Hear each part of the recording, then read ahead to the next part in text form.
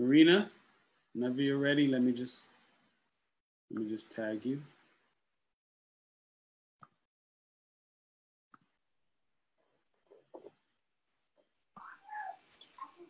All right. Hello and good morning, family. Welcome to Elements Church. My name is Marina Mason. I am one of the ministers here at Elements Church and a worship leader with my husband, Randy.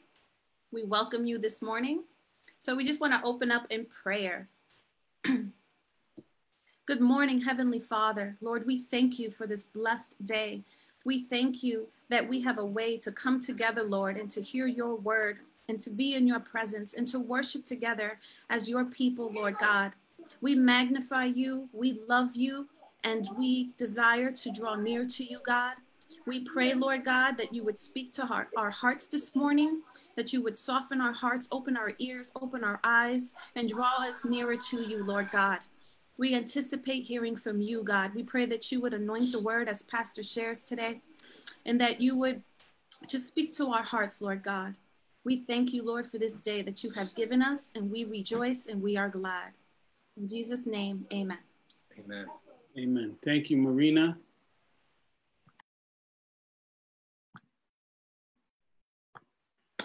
All right, welcome to Elements Church, and we're gonna we're gonna drop some uh, some videos on for you. Uh, for us, these are a little. Some of them are little golden oldies, so I'm really excited for us to enjoy them.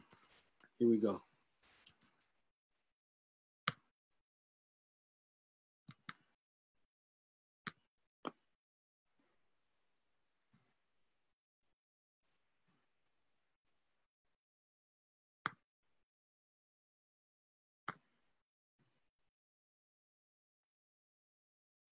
Sorry.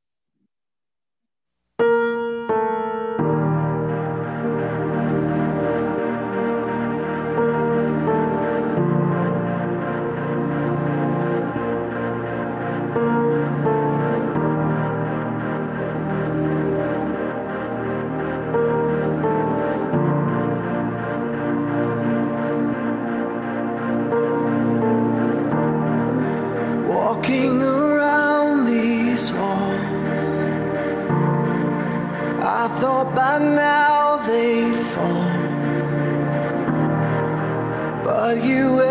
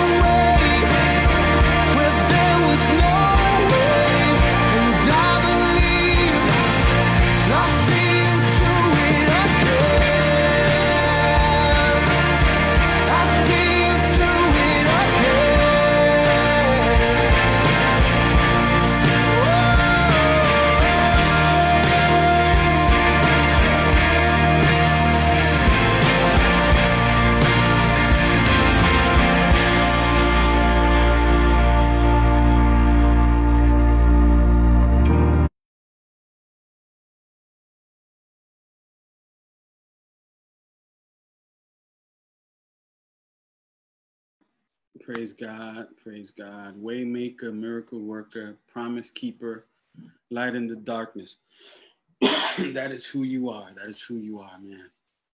So as as we was as I was singing those songs over here, all I kept thinking about is these are songs we sing when we're together. Um, and they sound a little different, but obviously it's the same song and our hearts are the same. Um, so I just I just wanted to bring a little bit of that back today. So if you saw the post today, I'm, I'm speaking on U-N-I-T-Y. I don't know the rest of the words, but you know that song. U-N-I-T-Y by Latifah. Um, I, don't, I don't know if there's cursing in that song. I don't know anything, but I just like, I know U-N-I-T-Y, and I think it's a beautiful concept. But I love it. I'm, I don't know about you, but I love it when the world, secular life, imitates scripture because unity comes from the scripture. So I want to just jump right in. It's not going to be long. Um, if Marilyn oh, Marilyn is here, if you want to do the chat room, that would be awesome. Um, I'm just I'm just arranging my my screen. Hold on a second. Sorry. Um, all right. I promise you we won't be long, but I'm hoping that it has lasting impact on you. So we're going to read just from a certain section of scripture, very short section, John, the book of John, Matthew, Mark, Luke, John, New Testament. Matthew, Mark, Luke, John, it's in that order. We're going to read from chapter 17. All right? Chapter 17 of John. Um, I would encourage you to read all of chapter 17. You might want to even start 16. There's reasons for all of that, but um, to really fully get everything that's being said, I, I had to um, I had to myself read uh, 16 and 17, and I think you'll be blessed. But we're gonna stick on 17, chapter 17, verse 11. Then we're gonna jump to 20. All right, verse 11. Then we're gonna jump to 20. We'll read a couple more verses there. So let's let's pray, Father, bless your word, and um, I pray that uh, your word be a lamp unto our feet, guide our steps. Or our steps already ordered, but guide our steps, Lord, and show us uh, what to do, where to do it, how to do it, especially when it comes to the application of your word. Just be with us, and I pray that what I share just just be what you want shared, and nothing from me. In the name of your Son Jesus, Amen. So, chapter 17, I'm going to start at verse 11. It says. I will remain in the world no longer. And this is Jesus speaking. I will remain in the world no longer, but they are still in the world, and I am coming to you. Holy Father, protect them by the power of your name, the name you gave me, so that they may know, I'm sorry, so that they may be one as we are one, that they may be one as we are one. Remember, what am I speaking on? U N I T E Y. So here he is. So that they may be one as we are one. All right. Now jump to verse 20. It says, it says, my prayer is not for them alone. If you guys are texting me, I can't, I don't, I don't mess up my flow. All right. So text Erica, she'll relay messages. I can't mess with the text. I don't know if it was y'all. I love you. Um, I, I just saw a flash. Anyway, verse 20. My prayer is not for them alone. I pray also for those who will believe in me. so Jesus is speaking and he, he just told the, his disciples right there in, in 11 that may they, that they he's talking to God about them that they may be one as we are one, right? Now you jump to verse 20. My prayer is not for them alone, the ones he was talking about, but I pray also for those who will believe, will believe in me through their message, through the message of the disciples will believe in me. Let's keep going. That all of them may be one. There it is, U N I T Y again. Father, that all of them may be one Father, just as you and you are in me and I am in you. May they also be in us, so that the world may believe that you have sent me. Verse 22 I have given them the glory that you gave me, that they may be one as we are one. There it is again. U N I T Y, that they may be one as we are one. Verse 23, I and them, and you and me. Oh man, there it is again. So that they may be brought to complete unity. Why he uses the word there, unity, right? Then the world will know that you sent me and have loved them even as you have loved me. Let's jump to 24. Father, I want those you have given me to be with me where I am and to see my glory, the glory you have given me because you loved me before the creation of the world. I want those you have given me to be with me where I am. U-N-I-T-Y. Verse 25, righteous Father, though the world does not know you, I know you, and they know that you have sent me. I have made you known to them and will continue to make you known in order that the love, very important love, that the love you have for me may be in them and that I myself may be in them. U N I T Y. Y'all should write that on your Bibles. Make a note in every one of those. U N I T Y. Every single one of those. Um, so Jesus prayed this. This is a prayer that Jesus prayed on the last night of his life.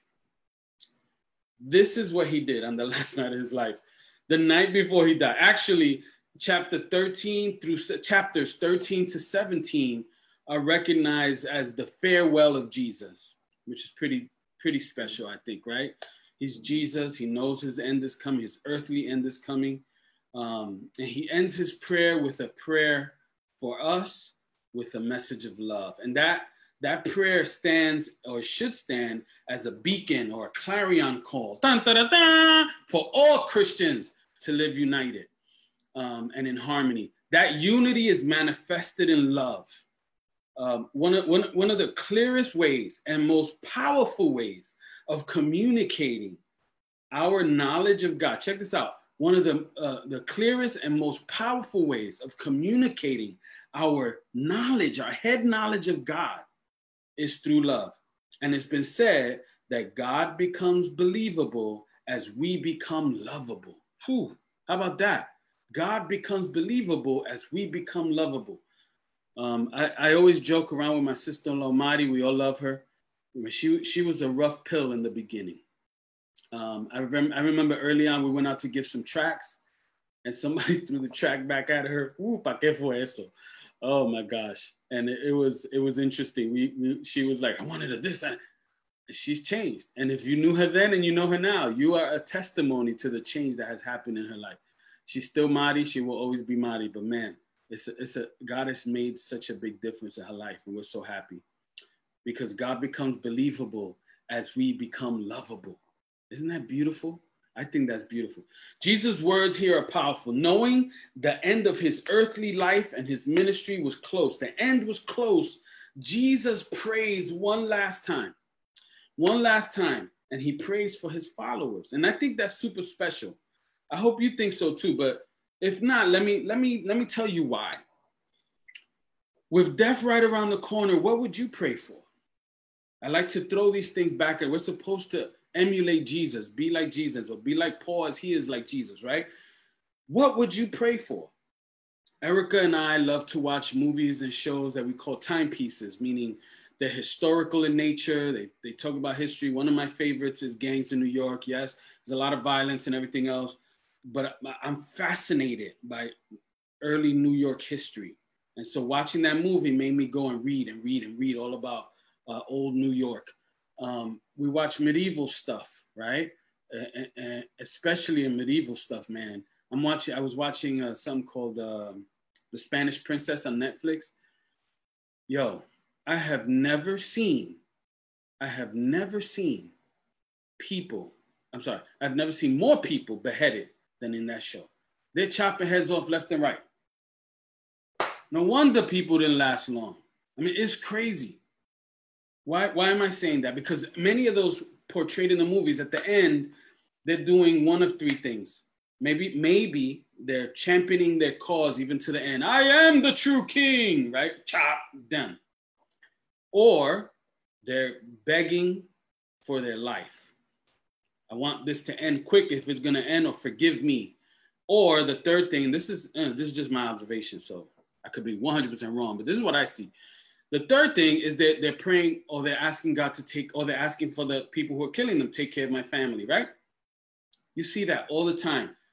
Ease my pain, a declaration of my, you know, the reason why I'm being killed is because I'm the true king, or take care of my family. So these timepieces, this, these historical joints, that people are dying all the time, and that's what they're crying out for. what would you cry out to God about? Knowing that, the, that your end is near. What would you be crying out to God about? What would your death, what, what I mean, would, would you want your death to be easy? I, I, I would like that. Who wouldn't? Would, would you would you be would you be crying out about your family? Lord, take care of my family. Nothing wrong with that. That's probably that would probably be my number one. Number two, then I'm, I'm saying like, yo, make it quick, bro. Come on, just end it. Well, Jesus, he didn't do that. Jesus didn't pray that. You know what he did? He prayed for us. And then, so so remember, we, we looked at the scripture, right? He's praying for the disciples at the moment, and then he says, and those that will come later, right? Uh, as followers of the disciples that hear the message and it gets passed down to today, right? So we are those people. So he's praying for us. But check this out. He's not praying for things like our success. He's not praying for things like our wealth. He's not praying for things like our, our, our health, which is nothing wrong with any of that, right? He's not praying for our happiness. He prayed for our unity. He wants us to be united. That's what he, at the end of his life, and he knows he's gonna have he has these followers here and the, the you know millennia after millennia's millenniums you know what i mean? Many years after he's gonna have people who believe and he's praying for them and he's praying for unity. Unity as we fulfill the purpose that he has for us. He prayed that we would love each other right? That's how it's manifested in love as we went out into the world, he's praying that we would love, love, love. And he prayed for his disciples and all those to come in the faith. That means you and that means me. And in his last prayer, Jesus prayed that you and I, elements and every other church around, would be one. Unity. U N I T Y. The same unity that's personified in the Godhead, the Father, the Son, and the Holy Spirit. If you look at verse 11 again, verse 11, he says unity, right? He talks about unity. Uh, so that they may be one as we are one. That's verse 11. If you look at verse 21, he says, uh, he says, just as you are in me and I am in you. If you look at verse, what is the other one? 22, 22, the next verse. He says, I have given them the glory that you gave me that they may be one as we are one. I and them, etc., etc. The unity that God is talking about, that He desires of the body of Christ, is based on a unity that already exists in the Godhead, Father, Son, and Holy Spirit. That's the kind of unity that He wants us to have. A unity, uh, the Holy Spirit, God the Father, God the Son, they all work together, right? They all do different things. They all have different jobs, so to speak, but they're one God. And they work together and that unity already exists, and that's what God wants us to uh, to emulate. Um, he doesn't have to fake it. He doesn't have to even create it. It's already there. Um, the Godhead is evidence of unity. Think about that. All right. Imagine if they were all the same and working in different directions. That's like your arm wanting to grab that and your legs wanting to walk that way. Right? Doesn't make sense. Um, and in one way we're already we're already part of you know a unified uh, spirit because we're part of the same spiritual family. Um, just on that basis alone. Um, and it's not based on anything external. It's not based on blood. It's not based on flesh. Uh, but it's based on the inner workings of the holy spirit. I, have said this a million times that uh, my, the old me y'all wouldn't have liked the old me. Some of you don't like me now. And no, i'm joking yo, some you, you know, the old me was not a good guy. And so it's the working of the Holy Spirit that allows me, allows us to become family. And God is the giver of that unity. It said that there's no possibility of having peace. Check this out. Whoever came in, please mute yourself. Thank you. Um, there's no possibility of having peace unless God Himself gives it, unless um, it comes down, unless he comes down and works peace into the hearts of his people. It's only the power of Christ, the power of the Holy Spirit. Uh, um, it's through him, through his power, through that we can be in unity and we can be in peace because God does it. We don't do it. See, that's the beauty of it. We don't do it. We don't do it. I didn't set out to change. I, I said yes to Jesus, but I was ready to go get high after, right? I didn't because God changed me. And I haven't because God changed me, right? But I didn't do that. And you didn't do it either. And it's only through God's working in us that we can have any kind of unity and peace among, among each other. And it's from this unity, this reality of Jesus prays. The reality of the of the of the the, the triune God, right? Father, Son, and Holy Spirit. From that reality, Jesus prays for unity for us four different times. Verse 11, 21, 22, and 23. Four different times in the same chapter. All right. Um, the English Standard Version of the Bible translate verse 23 that they may that, that they may become perfectly one, not just one, but perfectly one. Perfectly. When Jesus prays for something four times, he's trying to get our attention and we should listen.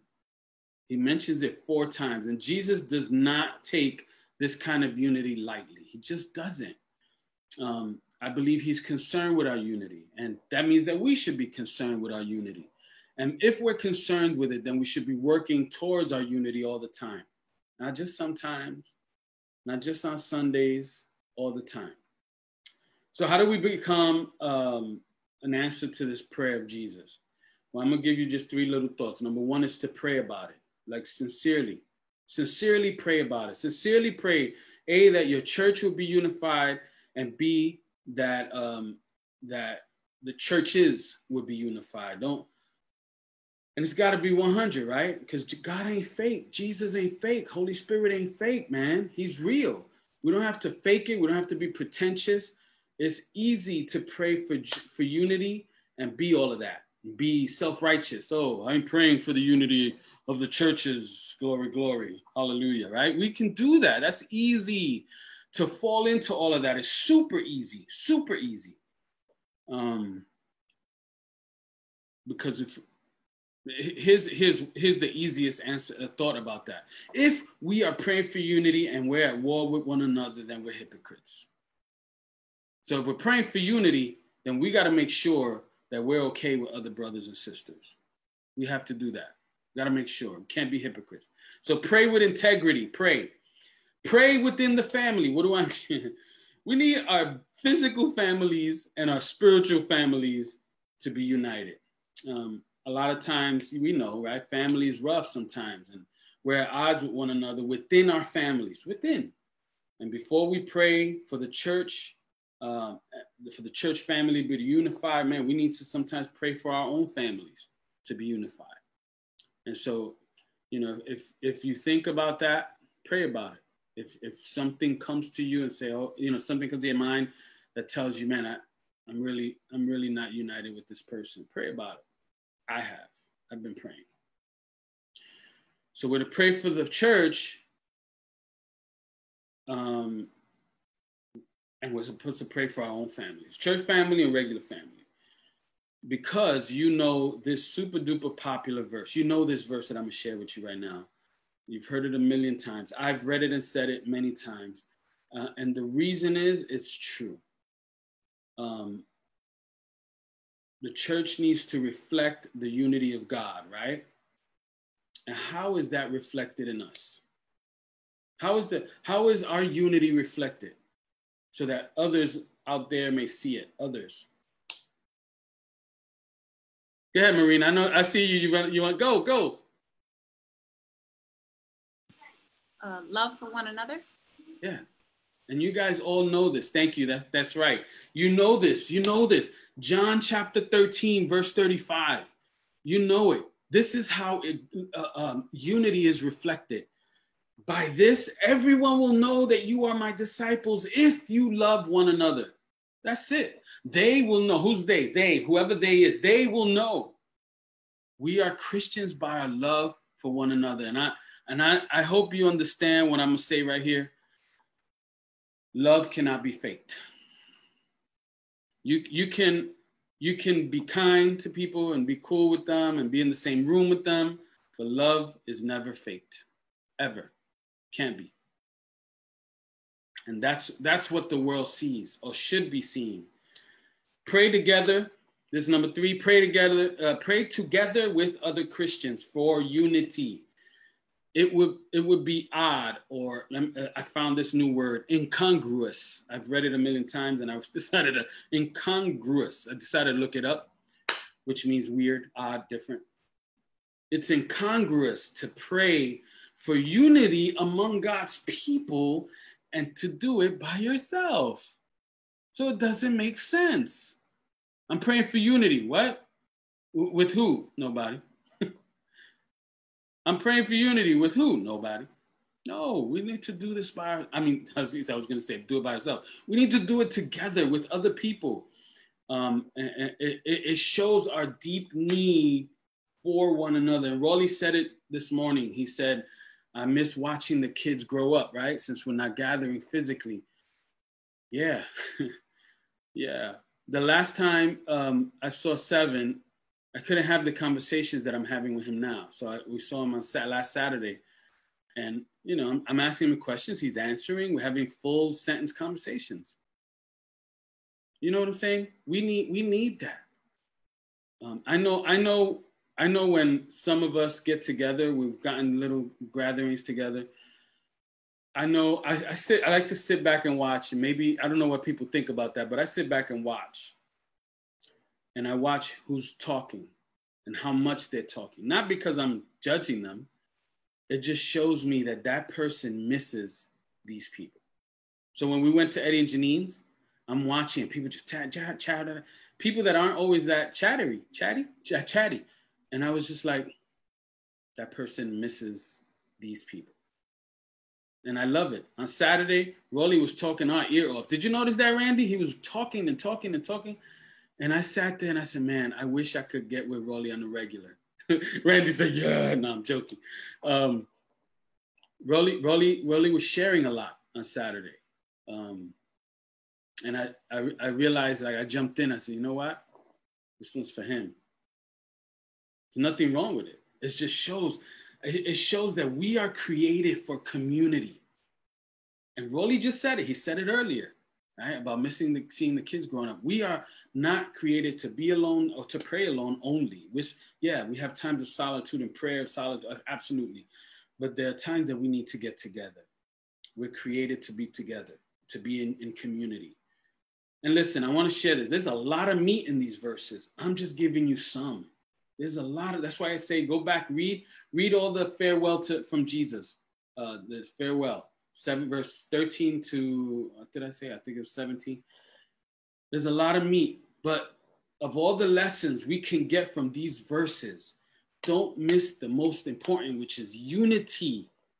Unity, U-N-I-T-Y. It matters to God. And so it should matter to us.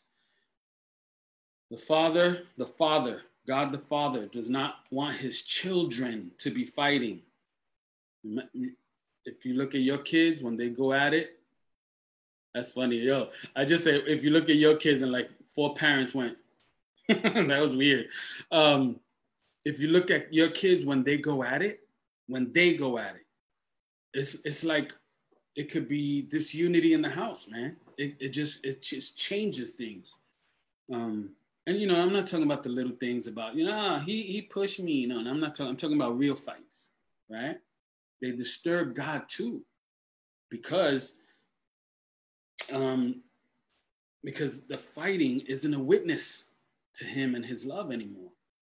It's about us. I fight uh, if those are the fights we're getting into, they're not about him, they're about me. And and Jesus is praying this he says it he says it in verses 21 and 22 and I'm, I'm, paraphrasing a little. So the world may believe you sent me. So the world may believe. So the world and then he says so the world may know you have sent me. And that's the message. That's why. You know i remember when i first came to christ i didn't understand so much. I didn't understand so much. As a matter of fact i would hear preachers talk about what i saw as the reputation of god. And I was like, the reputation of God. he's God. He don't got to fight for no reputation. He, you know, I didn't know what I was talking about. It wasn't until I come, uh, you know, time passes. Um, because I used to be like, who cares about his rep? God doesn't care about that. But you know, the truth is, I was looking at as, at it as a human trait. But as I've grown, I've come to understand that He cares. That people see Him in His truth. Right? That people. So that's why I get mad when people say stuff that's wrong, especially when they know it's wrong. Um, God wants people to understand Him in his true light, in his truth, because he's truth. And it's truth. He's about truth and he is truth. So when Christians stand together in unity, what happens is that they are living proof of his truth, of the gospel, of love.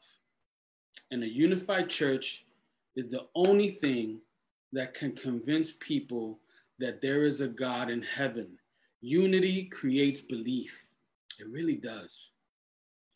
And if unity creates belief, then disunity creates unbelief, right? Equal and opposite. Um, how can the world come to believe the gospel if we we uh, we who believe it are are battling amongst ourselves?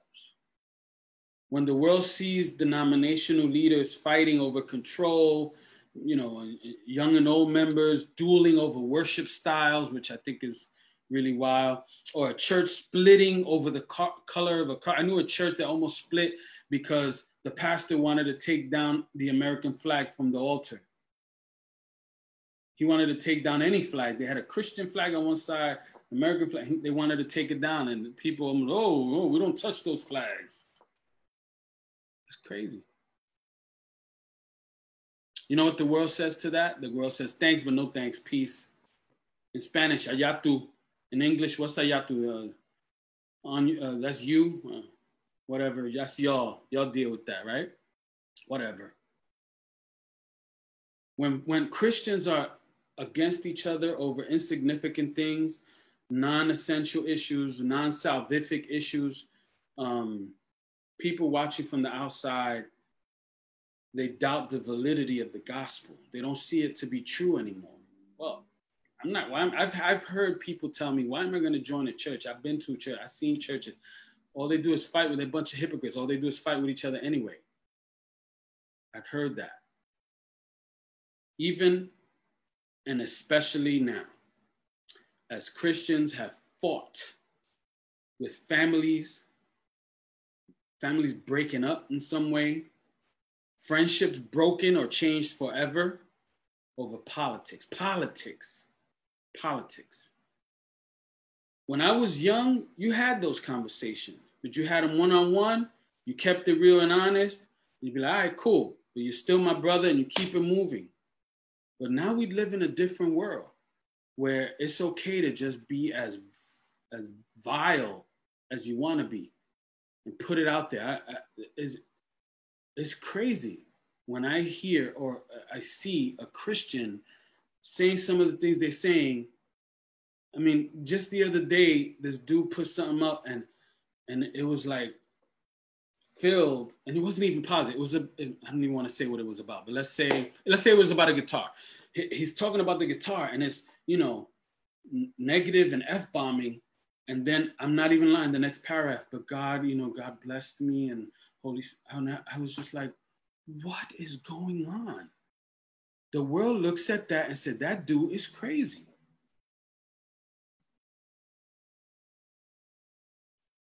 I think it's fair to say that one of the hindrances of people coming to church is, uh, is the way they see us treating one another. I believe that. And a, theologian said, check this out. He said, the continuous and widespread fragmentation of the church has been dot, dot, dot, Satan's master strategy. The sin of disunity probably has caused more souls to be lost than all other sins combined. So we worried about sexual orientation. We worried about uh, people smoking and drinking. Uh, meanwhile, we, uh, I'm not saying we, but you know, the church, we are causing more souls to be lost than all other sins combined. Because that's the stuff they see. They see it. And could it be that unity is the key to reaching the world for Christ? I kind of think maybe that could be one of the major factors.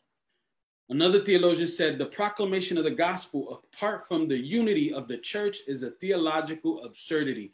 He's saying to talk about God and the gospel without talking about how the church needs to be unified theologically makes no sense. Unity is evidence to the world. When I say the world, you know, don't don't don't don't get don't over spiritualize it. When I say the world, I'm literally talking about those who don't know Christ, right? Unity is the evidence to the world that our faith is real. I'm praying that unity will be evident to everybody. And when unity is present, what we're doing is we're answering Jesus' prayer, the prayer that he said, I may they all be united, right? And if unity isn't present, isn't experienced, isn't shown, then what? What does God feel? What is Jesus thinking? You know? That's all I got for y'all today. I want us to be unified, man. I'm talking about us as a church, as family, as brothers and sisters. If you have something against your brother, the Bible says, leave, leave your offering at the altar.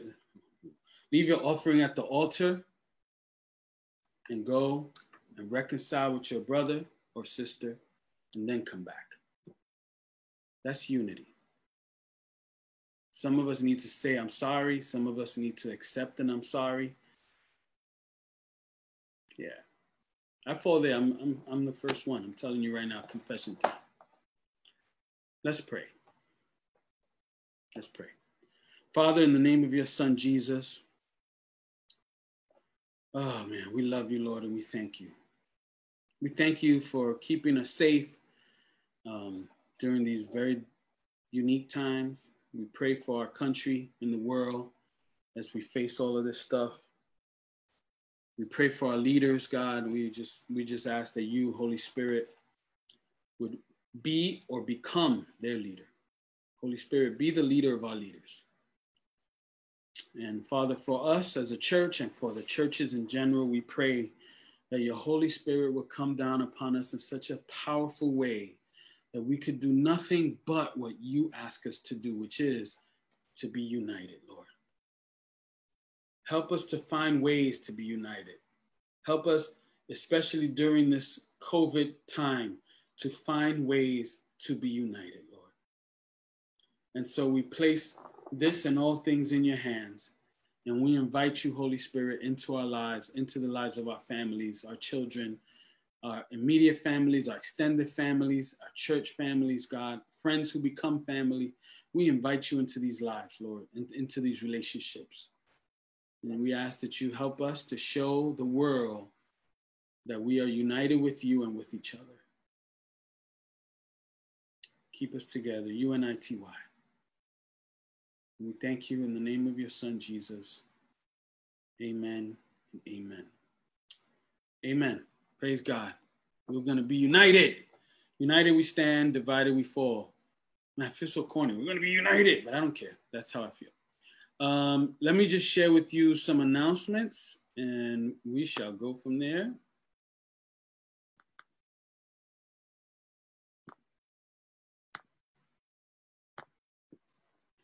First, I want to say thank you to the guys who showed up to help move the stuff to storage. Um, I, I, laughed because I we, we dropped some stuff off, off upstairs and I left a few guys, I don't know, two, three guys there.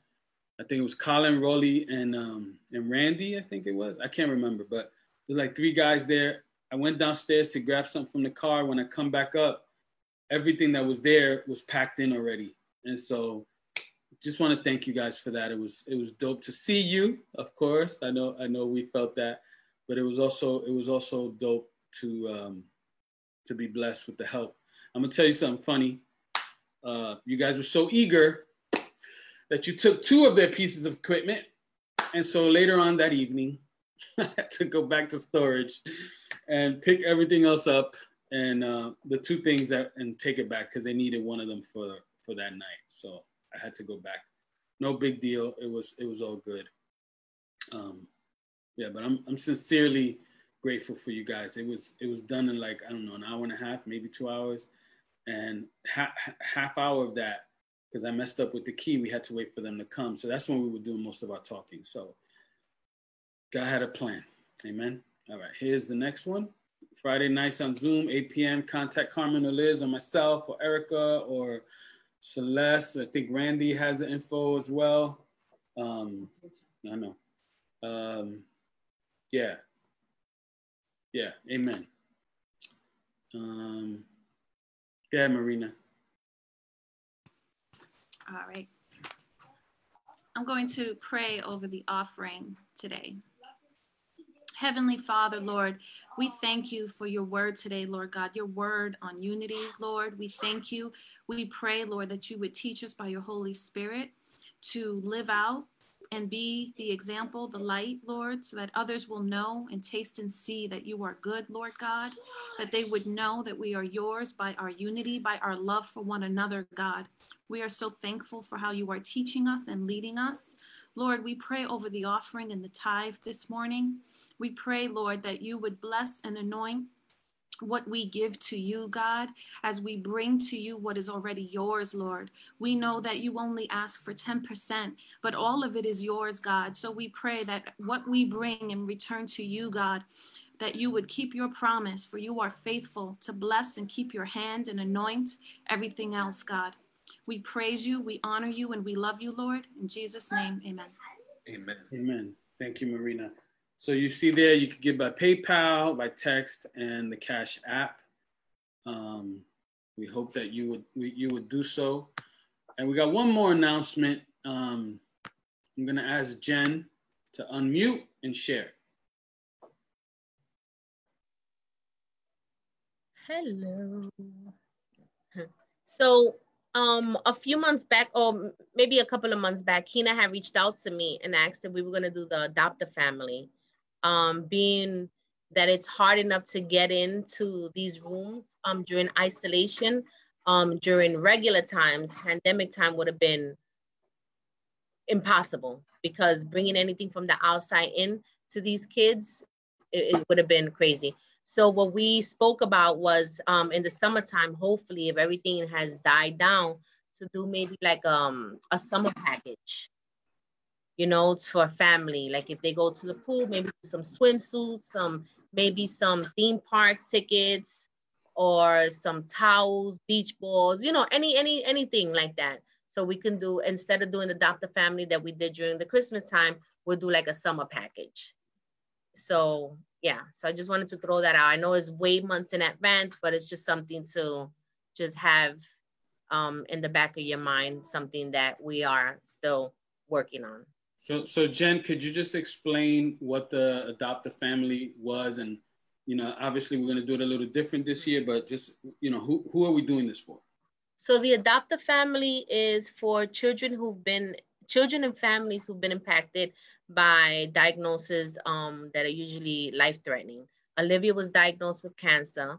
Um, she battled twice, and we were an adopt a family um, maybe like two, three times for different people. So we decided that when she got better, that we wanted to pay forward. And we've been doing it, I think we've adopted so far maybe like eight, nine families um, throughout the years. Um, but this this time we're gonna sit this one down just because of you know everything that's going on. But um, not to say that we're not gonna do it anymore, but just to do it on a seasonal level and just you know hopefully you know and it eh, um all the things that we do during Christmas time we can do that for the summer and hopefully be able to bless the family, maybe even two families. And maybe going forward, this will be something that um God will expand upon also.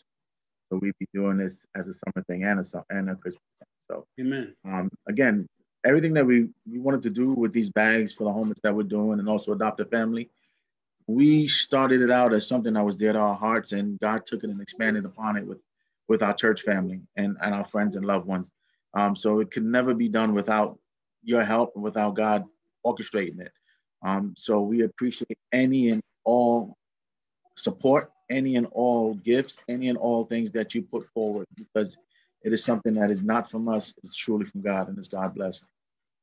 I Amen. want to thank Keena for reaching out and was like, you know, talking at me like, hello, what's gonna happen this year? So, you know, that also shows that, you know, um, people just love to give and, and love to be part of something like this. And and I know that this church is is always um like you said earlier, like let, let let's do this, you know, let's let's jump on this. Amen.